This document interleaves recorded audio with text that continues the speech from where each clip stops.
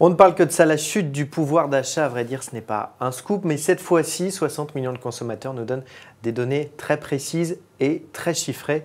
Grâce à vous, Lionel Mauguin, bienvenue au Figaro. C'est vous qui êtes l'auteur de cette enquête qu'on retrouve donc dans 60 millions de consommateurs. On découvre donc que nous avons perdu, les ménages français ont perdu 1500 euh, euros sur leur pouvoir d'achat en seulement 5 ans, entre 2009 et aujourd'hui, qu'est-ce qui a le plus plombé, entre guillemets, notre pouvoir d'achat? Ça fait une chute de 4%, ce qui est quand même euh, assez, euh, assez énorme. Alors chacun euh, a, le sentiment effectivement de ce que je vais dire, mais là on, en a la certitude. évidemment, ce sont c'est essentiellement les dépenses liées au logement et les dépenses liées à la voiture qui ont le plus plombé le, pouvoir d'achat. Ce que je veux dire, c'est que les hausses de prix ont augmenté davantage que les revenus. C'est ce que vous dites aussi, les postes de dépenses qui ont le plus augmenté sont des dépenses qui sont contraintes, c'est-à-dire que bah, on continue évidemment à devoir payer son loyer, on est obligé de, prendre sa voiture. C'est sur tous ces domaines-là où on est obligé de, faire ces dépenses que le pouvoir d'achat a le plus baissé? C'est ce qui est le plus douloureux, évidemment. Euh, ce sont des dépenses contraintes, donc c'est une, perte de pouvoir d'achat contrainte. Euh, on a pas beaucoup de prix sur sa facture électricité. Alors évidemment, on donne dans le dossier un, certain nombre de conseils. On va y venir, Et on interpelle aussi les pouvoirs publics pour savoir ce qu'ils ont fait sur l'électricité, le gaz, les loyers, le carburant, mais également le prix de la viande qu'on voit qui a beaucoup amputé le pouvoir d'achat sur tous ces sujets-là, à la fois, on essaye de donner des conseils pour essayer de réduire euh, les dépenses. Hein, Ce n'est pas toujours facile, mais enfin, il y, a des solutions. Et puis, on, dit au pouvoir public que c'est là que ça se ah, passe. Voilà, la faute à qui C'est un peu ce qu'on a aussi envie de, vous demander. On a une idée d'ailleurs dans tout ça, de la part des, prélèvements, euh, des impôts. C'est une idée qui est un petit peu dans l'air, de dire qu'on est de plus en plus euh, imposé, de plus en plus taxé. Est-ce qu'au final, c'est vrai ou dans, ou dans quelle proportion? C'est exact que les, impôts on, pèsent sur le pouvoir d'achat, et c'est évident. Simplement, en tant que 60 millions de consommateurs, ce qui nous, intéresse, en tant que consommateur, c'est euh, qu'est-ce qui est dans mon budget, qu'est-ce qui me fait le plus mal, et qu'est-ce que je peux faire personnellement, et qu'est-ce que je peux demander aussi à mes représentants sur, tous les secteurs euh, qui sont incriminés. On a une idée si c'est un petit peu partout le même constat en Europe, ou si la France est particulièrement touchée? Alors, Là encore, je vais répondre 60 euh, millions de consommateurs. C'est vrai qu'on est, on est franco-français. Hein. Donc, euh, nous, ce qui nous intéresse, c'est le pouvoir d'achat des Français et comment on peut le regagner, parce qu'il y a des solutions pour le regagner. Donc euh, là, je ne vais pas vous raconter l'histoire, je ne sais pas Alors ce qui se passe ailleurs, mais en tout cas en France, le vrai problème, c'est peut-être, c'est pas la déflation dont on parle beaucoup, c'est le, pouvoir d'achat. Alors vous donnez plein d'exemples hein, très précis, au-delà du constat, pour faire des économies. Vous dites, on peut faire des économies.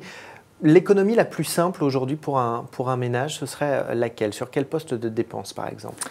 Alors, on parlait des dépenses contraintes. On a l'impression qu'effectivement, on ne peut pas faire grand-chose en matière d'électricité ou de gaz. Alors, il y a deux choses qu'on peut faire. Essayer de, faire des, des, réductions de, sa dépense d'énergie. Par exemple, vous mettez euh, un degré de moins chez vous, ça fait 7% d'économie d'électricité. Puis deuxième chose, il y a eu quand même, ce sont deux secteurs qui ont été libéralisés il y a quelques années. Aujourd'hui, on sait qu'en faisant jouer la concurrence sur le gaz, on peut gagner euh, quelques, quelques, une prise sur sa dépense. Voilà, en essayant de changer de fournisseur. Changer de euh, fournisseur. Mais ça paraît toujours euh, insurmontable. C'est assez simple hein, de changer de fournisseur en matière de gaz. On a toujours peur de se faire avoir, on a toujours peur de... Comment on peut être conseillé correctement quand on veut se lancer là-dedans? Alors j'ai envie de vous dire, mais enfin bon, c'est un peu vous facile. Lire. Voilà. Nous on fait régulièrement des comparateurs, ou bien d'autres. Euh, il y a le médiateur de l'énergie aussi qui fait des, qui a un comparateur assez efficace. Et tout est mis en œuvre aujourd'hui.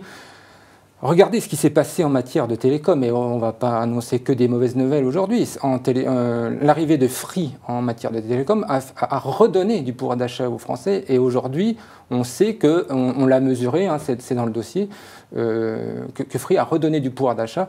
C'est ce qu'on espère qui va se passer en matière d'électricité ou de gaz, même si les modèles sont un peu plus compliqués. D'ailleurs, sur le téléphone, vous conseillez de, regarder euh, son forfait parce que visiblement, il y a encore beaucoup de gens qui ont des, forfaits trop importants et qu'il y a des offres bien plus bon marché aujourd'hui qui existent. Exactement. aujourd'hui, il faut avoir un, un, forfait tout compris à 20 euros Si vous ne l'avez pas, interrogez-vous et, et, essayez, de, renégocier votre forfait. De manière générale, il faut négocier ses dépenses. Hein. on sait que la négociation, voire le marchandage, ça fonctionne en matière de, tarifs bancaires, en matière d'assurance. On peut tout marchander. Oui, bien sûr. Et, en matière, en l'occurrence, d'un poste de dépenses important, le loyer. Euh, on sait qu'aujourd'hui, euh, il y a des locataires qui négocient soit une baisse de leur loyer, soit un maintien de son loyer, soit, soit même une prise en charge de, travaux par la, de la part du. Ça se fait aujourd'hui. On peut appeler son propriétaire et lui dire voilà, euh, j'ai moins de revenus ou en tout cas mes prélèvements pèsent davantage sur mes revenus. Donc il y a beaucoup de choses qui se font. Il y a beaucoup de choses qui se font. Alors euh, ça se fait sans que, enfin les Français ne nous ont pas attendus pour euh, constater leur baisse de pouvoir d'achat. Donc ils ont déjà pris des initiatives, ce qu'on appelle la consommation collaborative. En réalité, la consommation collaborative, c'est essayer de réduire ses dépenses par, par d'autres moyens de, de, consommation, Donc ça, dont le, marchandage. le, marchandage, euh, le covoiturage aussi. Exactement. L'achat de fuel en commun. Ouais vous, vous, réunissez tout votre quartier, vos voisins, tous les gens qui, sont, qui ont une cuve de fuel, et puis vous, vous, achetez en commun, ça fait une réduction euh, sur, sur, la, sur la facture, notamment les frais de transport évidemment. Il y, a, plein de choses comme ça qui se passent. Et heureusement, heureusement que les gens euh, ne se laissent pas aller au fatalisme et essayent de réagir euh, face à cette baisse du pouvoir d'achat. Et les autorités dans tout ça, vous dites que le pouvoir politique doit agir aujourd'hui pour notre pouvoir d'achat. S'il y avait une première mesure d'urgence à prendre, ce serait laquelle selon vous?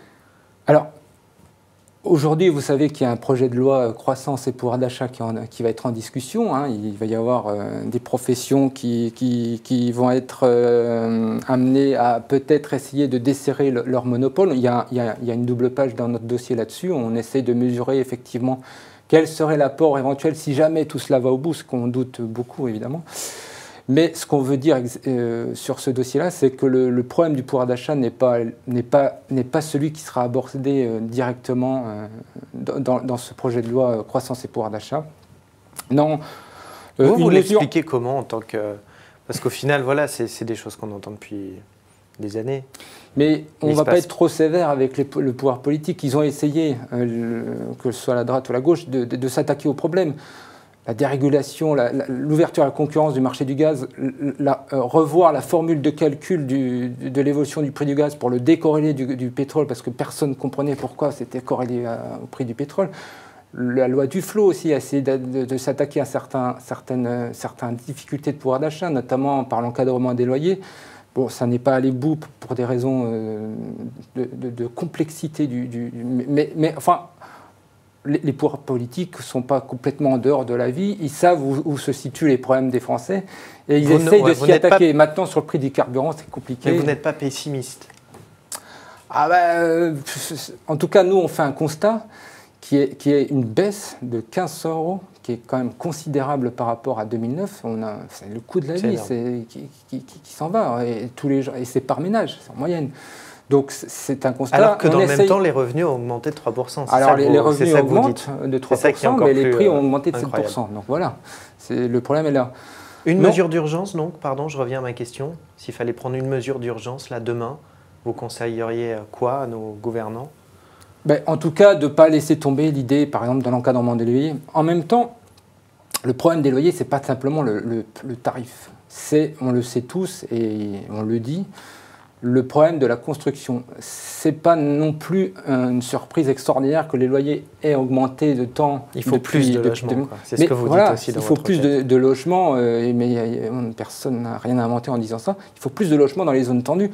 Et, là, et, aussi pour, euh, pour inciter les, bailleurs, parce que nous, on ne s'adresse pas que locataires, on s'adresse également aux, bailleurs. On, dit, on donne des techniques de défiscalisation.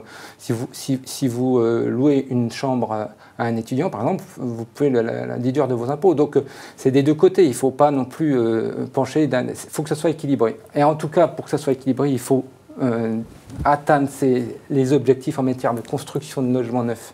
Merci beaucoup Lionel. On va donc inviter nos politiques à lire toutes ces, euh, toutes ces bonnes idées et puis euh, évidemment à tout le monde parce qu'il y a plein de conseils pratiques pour essayer de réduire euh, toutes ces dépenses. C'est donc ce mois-ci dans 60 millions de consommateurs. Merci beaucoup d'être venu au Figaro.